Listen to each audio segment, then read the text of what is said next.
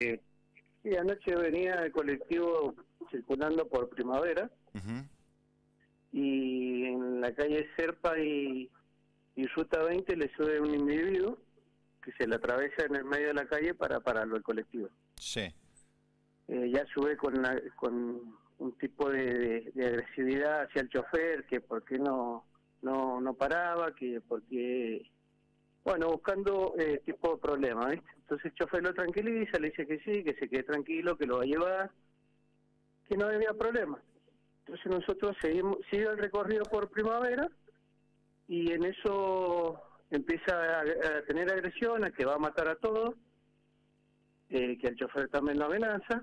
Eh, había un pasajero que, que le ve el arma de fuego, entonces llama al 911. Sí. El chofer también le da aviso por el tema del GPS, le da aviso. Y ahí en 2 de mayo lo interceptan y si está, estaba, tenía arma de fuego, supuestamente el, eh, el pasajero que iba dice que la, ya la venía cargando al arma Ajá. y diciendo que iba a matar a todos adentro del micro. O sea, no alcanzó a exhibirla, digamos, sino que es, la vieron como que la tenía entre sus prendas. No, no, no, el, el, el pasajero la vio, la vio porque cuando él carga el arma dice que ya Claro.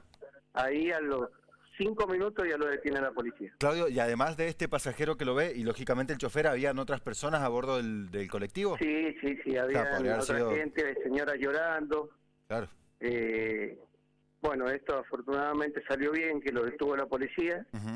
Al llegar a la comisaría, ya el, esta persona tiene pedido de captura, lo que lo hemos enterado, así que bueno, esta mañana ya se va a seguir haciendo todos los procedimientos que se tiene que hacer.